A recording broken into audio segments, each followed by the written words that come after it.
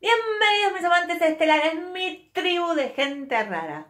Estás en este canal porque seguramente querés una información que te despierte. Este video es para vos si vas a escuchar el mensaje y vas a empezar a ponerlo en práctica en tu vida. No es para vos si te estás fijando cómo tengo el pelo, mira, ahí está, me lo despeiné, o que tengo puesto. Chau, si no. ¿De qué vamos a hablar hoy? De una de las épocas donde la astrología, así como te marqué la de Lidus, va a tomar relevancia y al que diga que no dice nada y que no marca ciclos, mira qué peinada quedé, besito y a la bolsa. Primero y principal, suscríbete y toca la campana. Como verás, estoy subiendo porque estoy en plena investigación. Estoy con estudiantes míos de astrología, estoy con, a, quien agradezco, le mando un beso enorme a Guille, que estamos juntas este, y me está recibiendo generosamente. Eh, y estamos tratando de aportar desde una visión realista, exacta, y qué herramientas vamos a poder poner en práctica. Por lo pronto, de mi parte, decirte que se vienen los momentos más álgidos. Te dije que enero era el mes y te digo que es enero, marzo, junio, diciembre.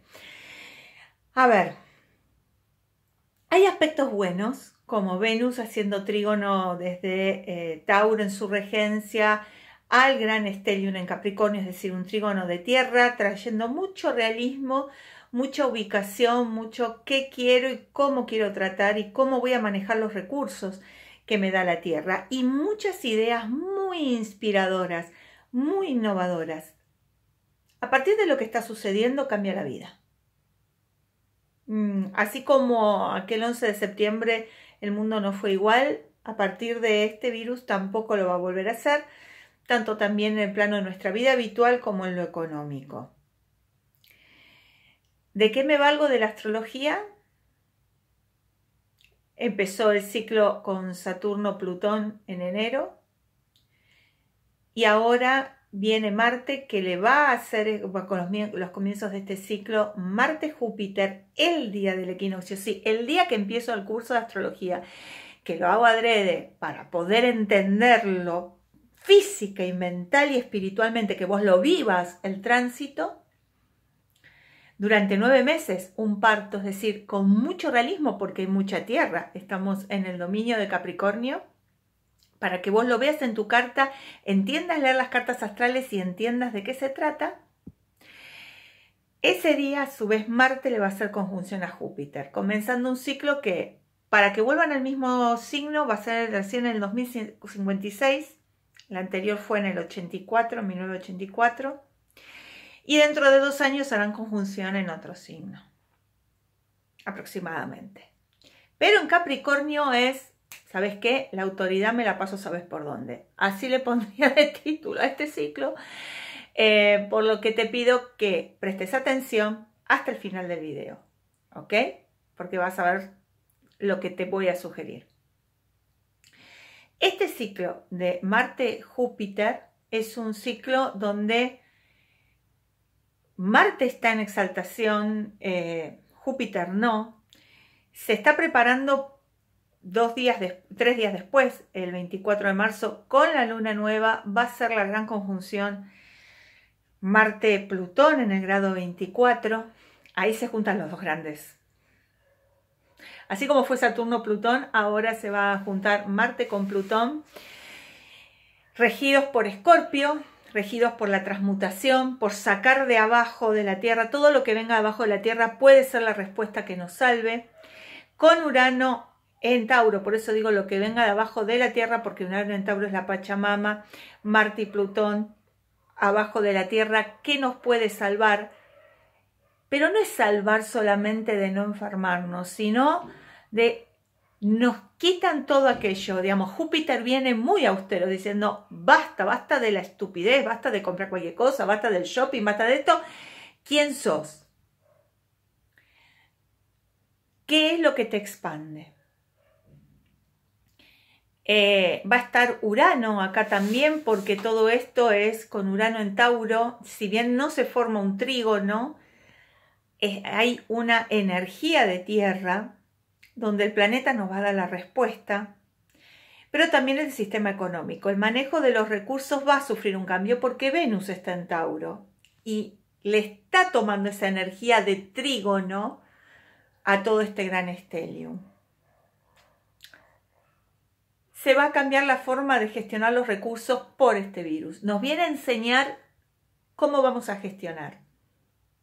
Fíjense que hay mucho miedo de la gente grande y no de los niños, como este Urano, esta cuestión del futuro protegida.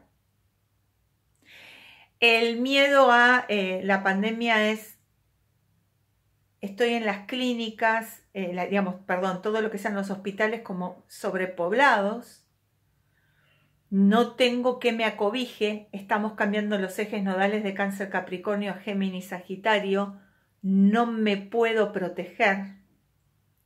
Y además, la luna nueva del 24 le va a hacer una cuadratura a los, a los, ejes nodales como ¿qué traigo del pasado? ¿Esta es la única manera de hacerlo o lo tenemos que hacer de otra? La protección es que te interne. La luna nueva es un comienzo, sabemos que empiezan seis meses. Seis meses que van de marzo a septiembre, seis meses que van a tener el cambio de los ejes nodales, la retrogradación de Marte y seis meses que nos van a decir aprende o aprende. Suscríbete, toca la campana, por favor. Más que nunca llamando a los ángeles, además de que te suscribas. Donde estoy mirando mis anotaciones porque es un montón. Yo te dije que comenzaban tres ciclos. Bueno, empezamos.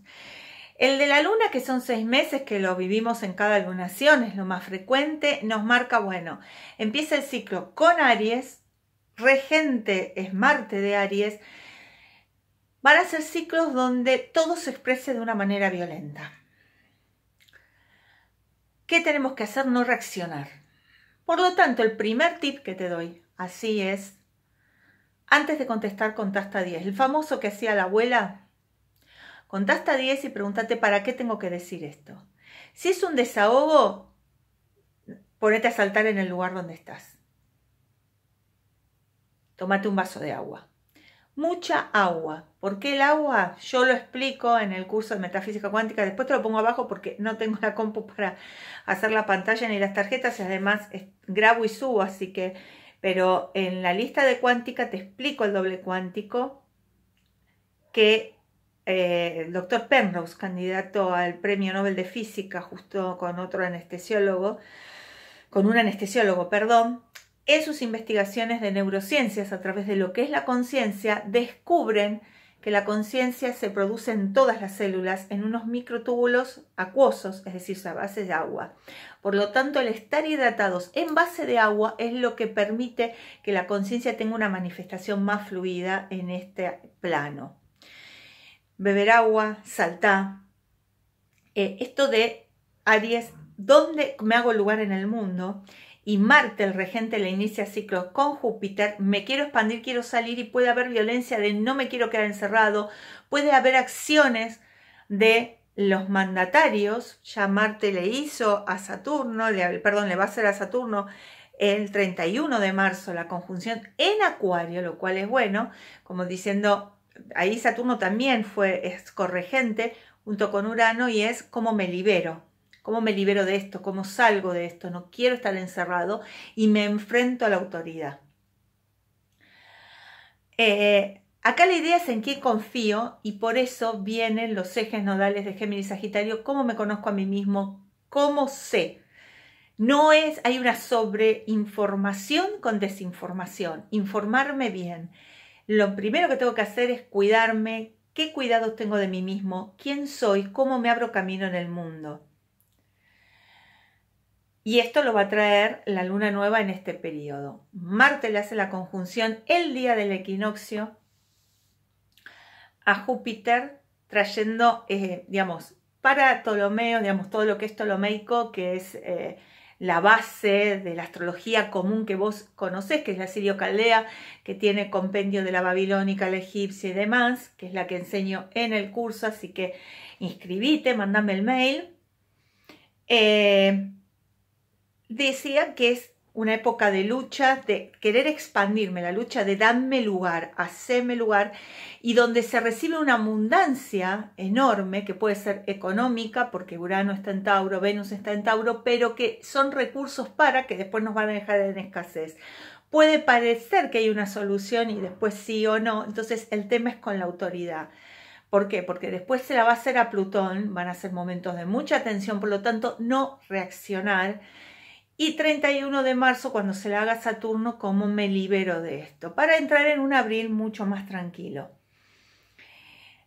El tema de no reaccionar es donde el instinto es lo que más manejamos. Por suerte, en estos momentos no va a haber, eh, digamos, hay aspectos con la luna, cuando sea la luna nueva, que la luna en sí al estar en Aries ya le forma cuadratura a todo este estelium, le forma cuadratura al nodo y a este estelium en Capricornio, y se va a sentir como esta tensión de el instinto o lo que sé, o lo que entiendo, o el sentido común. Pero más que nada, el volverse a uno mismo, tener todavía esta última energía pisciana de me meto en mí mismo para poder saber qué es lo que quiero manifestar, qué es lo que venimos a manifestar, eh, en qué estado vivimos, qué hábitos tenemos.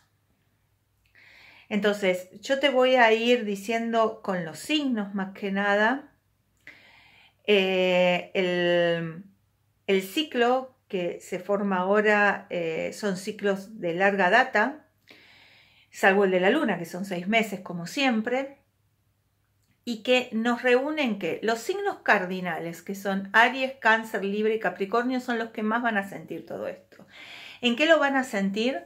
Más que nada en la relación con el otro, en cuál es mi ambición, en cómo me protejo, es decir, hay una gran tensión entre autoridad y obediencia y una revalorización de esto. Depende en la zona de tu carta donde tengas estos cuatro signos, digamos, dónde vas a poner esta reactividad, dónde te vas a sentir que vos querés hacer lugar, digamos, puede ser en la profesión, puede ser en los grupos de pertenencia, puede ser en la familia, puede ser en el trabajo, depende de la casa, podés ver el, el, video de las casas donde te digo cuál es cada casa y ahí es donde más se te va a dar.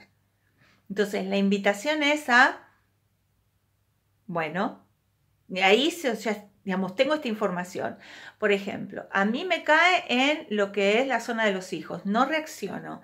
Si me traen algo nuevo, cuento hasta 10, digo, ¿qué es lo que me está trayendo? ¿Por qué me está pasando esto? Por ejemplo, si te cae en casa 8 y casa 12, los miedos. ¿Por qué tengo tanto miedo? Revisar mi historia o mi historia familiar. Para eso también hay terapias como biodecodificación, bioneuromoción, constelar y demás. A eso es a lo que te invito. Son estos ciclos, ahora tres de los cinco que dan el año se dan en un periodo del 21 al 31 de marzo. En 10 días se dan tres ciclos de Marte, el regente de Aries. ¿Cuál es la palabra? Tranquilidad. Necesitamos meditar, decirle al otro que no, tranquilizarme, que esto, lo que necesitas es no reaccionar. Accionar no es lo mismo que reaccionar. Accionar es tener conciencia de lo que hago, no respondo. No tengo que responder a nada. Tengo que ver qué necesito en ese momento y para qué voy a decir o hacer lo que voy a decir o hacer. Necesitamos darle causa a esta energía que es poderosa y que nos puede llevar a descubrir temas que nos van a ayudar un montón o a destruirnos. Suscríbete y toca la campanita. No te voy a dejar video porque lo subo así. Sí, abajo te dejo las listas de reproducción. Mira el video que viene porque voy a subir uno tras otro. Ahora viene con los signos. ¿Querés saber cómo te afecta el signo? Bueno, seguí mirando.